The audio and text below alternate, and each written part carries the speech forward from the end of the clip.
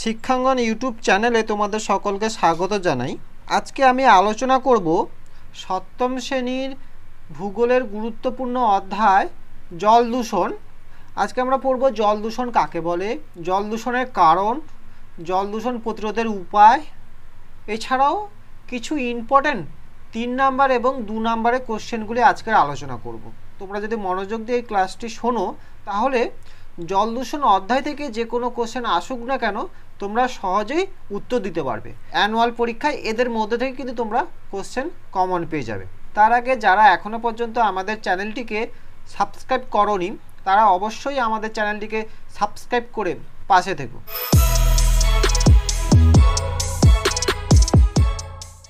তোমাদের বইতে জল দূষণ অধ্যায়তে বিভিন্ন গল্প আকারে আলোচনা করা রয়েছে।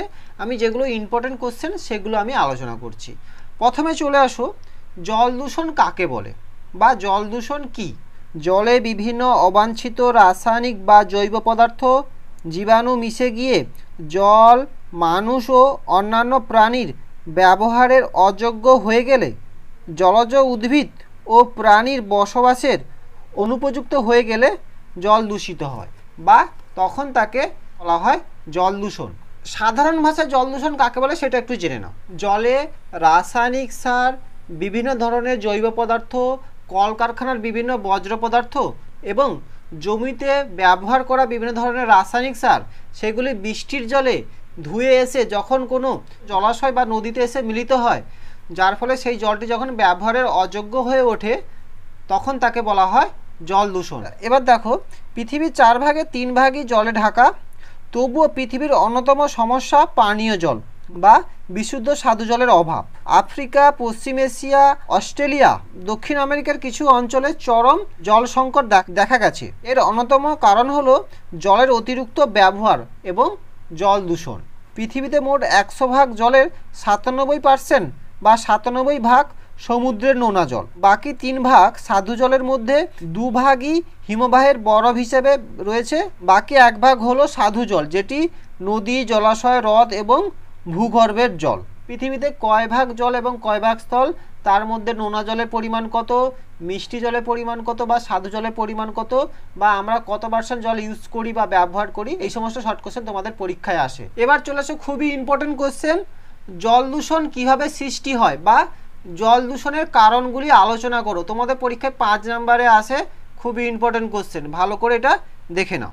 জল দূষণের কারণ। এক নম্বর, শিল্প কারখানা থেকে জল দূষণ। পেট্রোরসায়ন শিল্পে, পলিথিন, প্লাস্টিক শিল্পে, জ্বালানি শিল্পে, খনিজ তেল পরিশোধক শিল্পে এবং বিভিন্ন রকম যানবাহন নির্মাণ, ছোট মাঝারি ইলেকট্রিক্যাল এবং ইঞ্জিনিয়ারিং শিল্পে প্রচুর পরিমাণে দূষিত রাসায়নিক পদার্থ যেমন অ্যামোনিয়া, ক্লোরিন, ফেনল, সায়ানাইট এবং বিভিন্ন ধাতু, জিঙ্ক, পারদ, সীসা, ক্রোমিয়াম ঘটিত দূষক নালা, নর্দমা দিয়ে নদী বা সমুদ্রে বা জলাশয় মিশলে তখন জল দূষিত হয়। ছোট করে বলি, পেট্রোরসায়ন শিল্পে এবং পলিথিন প্লাস্টিক শিল্পে প্রচুর পরিমাণে দূষক রাসায়নিক পদার্থ যেমন অ্যামোনিয়া, ক্লোরিন দুই থেকে তিনটি আমরা দূষক পদার্থের নাম বলব, যেমন অ্যামোনিয়া, ক্লোরিন, ফেনল প্রভৃতি নালার মধ্য দিয়ে বা নর্দমার মধ্য দিয়ে সমুদ্র বা জলাশয়ে গিয়ে মিশলে, যার ফলে জল দূষিত হয়। দু নম্বর, গৃহস্থালী থেকে জল দূষণ। গ্রাম এবং শহর এলাকার বিভিন্ন আবর্জনা ও বজ্র পদার্থ, যেমন গৃহস্থালী দৈনন্দিন রান্না খাবারের টুকরো, দূষিত পদার্থ, শৌচাগারের মলমূত্র প্রভৃতি, সমস্ত উদাহরণ দেওয়া দরকার নেই। দুটি বা তিনটি লিখে প্রভৃতি লিখে দেবে তোমরা। নালা বা হচ্ছে নর্দমার মাধ্যমে ভূগর্ভের জলে বা নদীতে গিয়ে মিশলে তখন জল দূষিত হয়। তিন নম্বর, কৃষিক্ষেত্র থেকে জল দূষণ। জল দূষণের অন্যতম প্রধান কারণ হলো কৃষিক্ষেত্র থেকে জল দূষণ। চাষের ক্ষেত্রে বিভিন্ন প্রকার রাসায়নিক সার, কীটনাশক, আগাছানাশক সার ব্যবহার করা হয়। ফলে সেগুলি বৃষ্টি জলের সঙ্গে ধুয়ে বিষাক্ত রাসায়নিক পদার্থ ভূগর্ভের জলে, জলাশয়ে বা নদীতে গিয়ে মিশে জল দূষিত করে। চার নম্বর, জল দূষণের অন্যতম প্রধান কারণ হল তেজস্ক্রিয় পদার্থ থেকে জল দূষণ। পারমাণবিক চুল্লি চিকিৎসা কেন্দ্র বা বৈজ্ঞানিক পরীক্ষাগারে ব্যবহৃত তেজস্ক্রিয় পদার্থগুলো ব্যবহারের পর সমুদ্রে বা নদীতে ফেলা হয়, যার ফলে পারমাণবিক বিস্ফোরণের পর তেজস্ক্রিয় পদার্থগুলি জলের সঙ্গে মিশে গিয়ে জলকে দূষণ ঘটায় বা জল দূষিত হয়। পাঁচ নম্বর, খনিজ তেল থেকে জল দূষণ। জল দূষণের গুরুত্বপূর্ণ কারণ হলো খনিজ তেল থেকে জল দূষণ। দুর্ঘটনাগ্রস্ত তৈলবাহী জাহাজ থেকে অথবা সমুদ্রে অবস্থিত তেলের খনির তেল সমুদ্রে মিশে গিয়ে জল দূষণ ঘটায়। তোমাদের এই প্রথম পাঁচটি পয়েন্ট তোমরা ভালো করে করে রাখবে। তোমাদের পরীক্ষায় জল দূষণের চার পাঁচটি কারণ অবশ্যই তোমাদের লিখতে হবে। এছাড়া শেষ একটা পয়েন্ট করে রাখো, সেটি হলো আর্সেনিক দূষণ। মাটির নিচের স্তর থেকে অনিয়ন্ত্রিতভাবে অতিরিক্ত জল তুলে নেওয়ার ফলে মাটির নিচে ফাঁকা জায়গায় আর্সেনিক যৌগ বাতাসের সঙ্গে বিক্রিয়া করে বিষাক্ত যৌগ তৈরি করে। এই যৌগ জলে মিশে নলকূপের জলের মাধ্যমে পানীয় জলে মিশে যায়।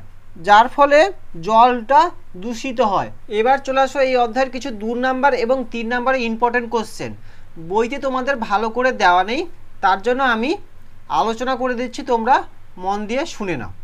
প্রথম কোশ্চেন আর্সেনিক দূষণ কাকে বলে?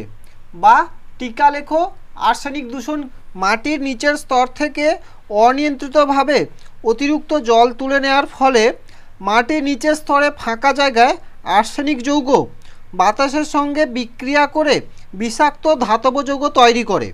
এই যৌগ জলে মিশে জলকে দূষণ করে। একে আর্সেনিক দূষণ বলে। অর্থাৎ মাটির নিচ থেকে অতিরিক্ত পরিমাণে ভৌমজল নলকূপ বা মোটরের মাধ্যমে সংগ্রহ করলে, যার ফলে মাটির নিচের স্তরে একটা ফাঁকা স্থানের সৃষ্টি হয় বা শূন্য স্থানের সৃষ্টি হয়। আর সেই ফাঁকা স্থানে আর্সেনিকের যৌগ বাতাসের সঙ্গে বিক্রিয়া করে বিষাক্ত ধাতব পদার্থ বা ধাতব যৌগের সৃষ্টি করে। সেই ধাতব যৌগগুলি ভূগর্ভে জলের সঙ্গে মিশে গিয়ে জলকে দূষণ করে। তখন তাকে বলা হয় আর্সেনিক দূষণ। দু নম্বর, মিনামাটা ব্যাধি কী? বা কোশ্চেনটা ঘুরিয়ে আসতে পারে, টিকা লেখো মিনামাটা ব্যাধি। উনিশশো বত্রিশ সালে জাপানের মিনামাটা উপসাগরের উপকূলে একটি রাসায়নিক কারখানা থেকে মিথাইল পারদযুক্ত তরল বজ্র সমুদ্রে জলে ফেলা হয়। ওই মিথাইল পারদ সামুদ্রিক মাছে দেহে জমা হয় এবং পরে উপকূলের অধিবাসীরা ওই মাছ খাওয়ার ফলে বিভিন্ন দুরারোগ্য ব্যাধিতে বা দুরারোগ্য রোগে আক্রান্ত হয়ে মারা যায়। পারতের ফলে এই যে যে রোগের সৃষ্টি হয়েছিল, একে বলা হয় মিনামাটা ব্যাধি। অর্থাৎ উনিশশো বত্রিশ সালে জাপানের মিনামাটা উপসাগরের উপকূলে রাসায়নিক কলকারখানা থেকে মিথাইল পারদযুক্ত তরল যখন সমুদ্রে বা জলাশয়ে পতিত হয় এবং সেই জলাশয়ের জল এবং সেই জলাশয়ের মাছ মানুষেরা খেলে, বিভিন্ন রোগ বা ব্যাধি সৃষ্টি হয় এবং এতে অনেক মানুষই মারা যায়। এই পারতের ফলে যে রোগটা সৃষ্টি হয়, তাকে বলা হয় মিনামাটা ব্যাধি তোমাদের পরীক্ষায় শর্ট কোশ্চেন আসে পারদ দূষণের ফলে কোন রোগ হয়? তিন নম্বর, ব্ল্যাকফুট ব্যাধি কি বা ব্ল্যাকফুট ব্যাধি বলতে কি বোঝো? অধিক মাত্রায় আর্সেনিক পানীয় জল ও খাদ্যের মাধ্যমে মানবদেহে প্রবেশ করলে হাতের চেটো ও পায়ের তলায় কালো কালো যে ক্ষতের সৃষ্টি হয় বা পায়ের তলায় যে কালো কালো দাগের সৃষ্টি হয়, তখন তাকে বলা হয় ব্ল্যাকফুট ব্যাধি। ব্ল্যাক মানে কালো, পায়ের তলাটাকে ফুট বলা হয়েছে। চার নম্বর কোশ্চেন ইতাই ইতাই ব্যাধি কি? বা ইতাই ইতাই ব্যাধি বলতে কি বোঝো? অধিক মাত্রায় ক্যাডমিয়াম মিশ্রিত পানীয় জল ও খাদ্যের মাধ্যমে মানবদেহে প্রবেশ করার ফলে মানবদের শরীরে অস্থি ভঙ্গুর হয়ে যায়। অস্থি বলতে হাড়। হাড়গুলি ভঙ্গুর হয়ে যায় ও অসহ্য যন্ত্রণার সৃষ্টি হয়। তখন তাকে বলা হয় ইতাই ইতাই ব্যাধি বা অর্থাৎ অতিরিক্ত পরিমাণে ক্যাডমিয়াম মিশ্রিত জল পান করলে বা খাদ্যের মাধ্যমে মানুষের শরীরে প্রবেশ করলে মানবদেহের শরীরে বা মানুষের শরীরে অস্থি বা হাড়গুলি ভঙ্গুর বা ভেঙে যায়, যার ফলে প্রচুর যন্ত্রণার সৃষ্টি হয়। তখন তাকে বলা হয় ইতাই ইতাই ব্যাধি। পরীক্ষায় শর্ট কোশ্চেন আসে, পরীক্ষায় শর্ট কোশ্চেন আসে ক্যাডমিয়াম দূষণের ফলে কোন রোগের সৃষ্টি হয়? পাঁচ নম্বর, ফ্লুরোসিস ব্যাধি কি বা ফ্লুরোসিস ব্যাধি বলতে কি বোঝো? ফ্লুরাইড দূষণ থেকে মানুষের দাঁত ও হাড়ের সমস্যা দেখা যায়। তখন তাকে বলা হয় ফ্লুরোসিস ব্যাধি। তোমাদের শর্ট কোশ্চেন আসতে পারে ফ্লুরোসিস দূষণে মানুষের কি সমস্যা দেখা যায়? ছ নম্বর, খুবই ইম্পর্টেন্ট কোশ্চেন ইউট্রোফিকেশান কি? বা ইউট্রোফিকেশান বলতে কি বোঝো? বা কোশ্চেনটা একটু ঘুরে দিতে পারে, টিকা লেখো ইউট্রোফিকেশান সাবান ডিটারজেন্টের ফসফেট, বন্ধ পুকুর, জলাশয়ের জলে মিশলে প্রচুর পরিমাণে শৈবাল, আগাছা, কচুরিপানার বৃদ্ধি ঘটায়। এর ফলে জলে দ্রবীভূত অক্সিজেনের পরিমাণ কমে গিয়ে মাছ ও জলজ প্রাণীরা মারা যায়। তখন তাকে বলা হয় ইউট্রোফিকেশান অর্থাৎ সাবান ও ডিটারজেন্টের ফসফেট পুকুর বা জলাশয়ে মিশলে প্রচুর পরিমাণে শৈবাল, আগাছা এবং কচুরিপানার সৃষ্টি হয়। এর ফলে ওই পুকুর বা জলাশয়ে অক্সিজেনের পরিমাণটা কমে যায়, যার ফলে অসংখ্য মাছ এবং জলজ প্রাণী মারা যায়।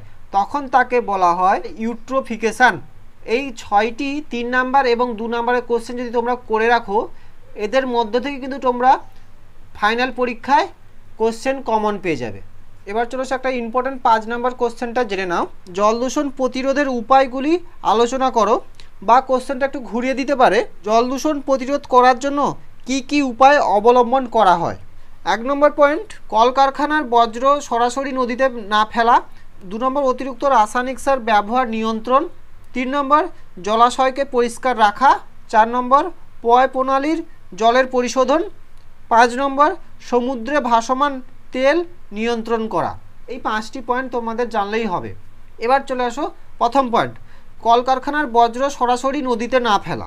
কলকারখানার বজ্র পদার্থ বিজ্ঞানসম্মত উপায়ে পরিশোধনের পর নদীতে বা সমুদ্রে সেগুলো ফেলতে হবে। দু নম্বর, অতিরিক্ত রাসায়নিক সার ব্যবহার নিয়ন্ত্রণ। কৃষি জমিতে অতিরিক্ত রাসায়নিক সার এবং কীটনাশক ব্যবহার বন্ধ করতে হবে এবং তার বদলে জৈব সারের ব্যবহার বাড়াতে হবে। তিন নম্বর, জলাশয়কে পরিষ্কার রাখা। যেসব অঞ্চলে জলাশয়ের জল জনসাধারণ ব্যবহার করে, সেখানে কাপড় কাচা বা কাপড় ধোয়া, স্নান করা, গবাদি পশু স্নান করানো প্রভৃতি বন্ধ করা উচিত। অর্থাৎ প্রভৃতি সেখানে বন্ধ রাখতে হবে, যার ফলে জলটা দূষণমুক্ত হবে। চার নম্বর, প্রয় প্রণালীর জলের পরিশোধন। নর্দমা ও প্রয় প্রণালীর নোংরা জল জলাশয় নদী সমুদ্রে ফেলার আগে অবশ্যই সেগুলোকে শোধন করতে হবে। শোধন করার পর সেই সমস্ত নোংরা আবর্জনা এবং নোংরা জল সমুদ্রে বা নদীতে ফেলতে হবে। পাঁচ নম্বর, সমুদ্রে ভাসমান তেল নিয়ন্ত্রণ। সমুদ্রে খনিজ তেল বহনকারী জাহাজ চলাচল নিয়ন্ত্রণ করতে হবে। এবং তৈলবাহী জাহাজ থেকে সমুদ্রে বা নদীতে তেল যাতে না পড়ে, সেদিকে লক্ষ্য রাখতে হবে। তোমাদের জল দূষণ অধ্যায় থেকে ইম্পর্টেন্ট দুটি পাঁচ নাম্বার এবং ইম্পর্টেন্ট কিছু তিন নাম্বার এবং দু নাম্বার কোশ্চেন আলোচনা করে দিলাম। এই সমস্ত কোশ্চেন তোমরা যদি ভালো করে ফলো করো, তাহলে এই অধ্যায় থেকে যে কোনো কোশ্চেন আসুক না কেন, তোমরা অবশ্যই তার উত্তর দিতে পারবে। আজকে ক্লাসটি এখানেই শেষ করলাম। ক্লাসটি যদি ভালো লেগে থাকে, অবশ্যই লাইক কমেন্ট এবং সাবস্ক্রাইব করে পাশে থেকো তোমরা সবাই।